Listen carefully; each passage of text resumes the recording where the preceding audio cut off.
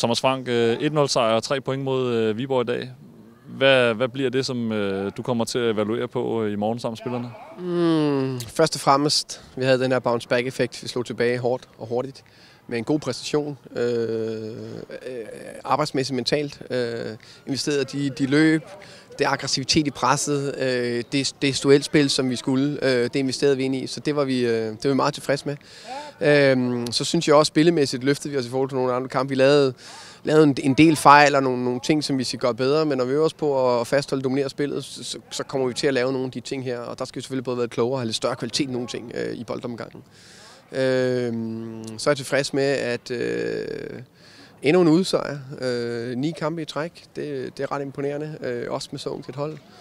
Øh, fjerde kamp ud af seks, hvor vi spiller med fire førsteårs seniorspillere, eller endnu yngre, Andrew er, er ikke engang førsteårs senior. Øh, to andre kampe der har været tre fra start, så, så der er så meget udvikling og potentiale det hold her. Øh, så er der ting, vi skal gøre lidt bedre selvfølgelig.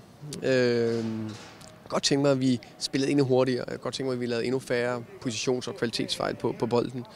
Øhm, og gav lidt færre muligheder væk til Viborg, synes jeg, i anden halvleg. Til gengæld til sidst, der, der skal vi holde lidt bedre fast i det, men jeg synes egentlig, vi afviser, at de kunne ikke lavet noget tryk på os. Så, så jeg synes ikke, de er tæt på 1-1 til sidst.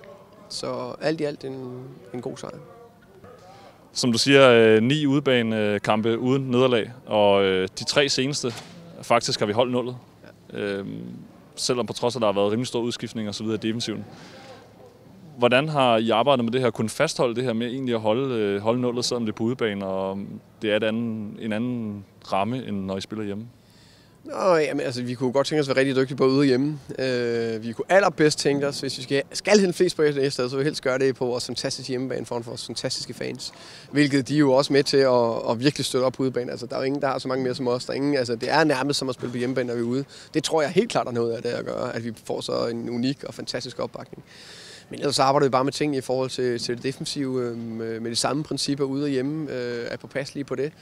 Øh, og der, der er et kæmpe gave til, til gutterne, uanset hvem der kommer ind og skal spille eller tage over. Og vi har spillet mange forskellige konstellationer, så synes jeg, det er imponerende, at, at, at de har løst tingene så godt.